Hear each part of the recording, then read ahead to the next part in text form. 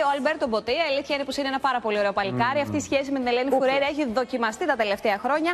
Έχουν αντέξει την απόσταση α, και πλέον ζουν τον έρωτά τους, είναι μαζί κάτω από την ίδια στέγη.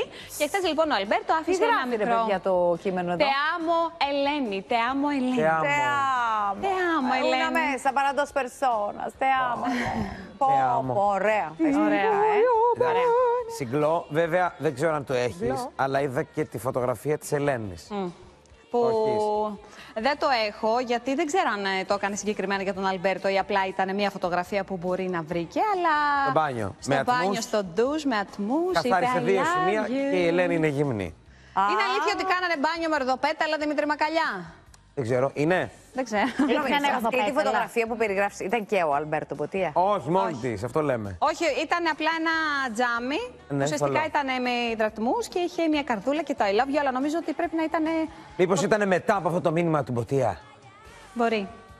Μήπως ήρθε ως απάντηση, εγώ. Κοίταξε λέω. να σου πω την αλήθεια. Γιατί Μετά αυτό από είναι αυτό το story, τα παιδιά βγήκανε χθες εκεί πέρα κάτω στα νότια με παρεούλα, διασκεδάσανε πάρα μα πάρα πολύ ωραία. Φάγανε τα, έτσι, τα ιταλικά Έτσι, τους, τα τα ωραία τα ερωτευμενάκια. φαγητά, τα ερωτευμενάκια και περάσανε φανταστικά.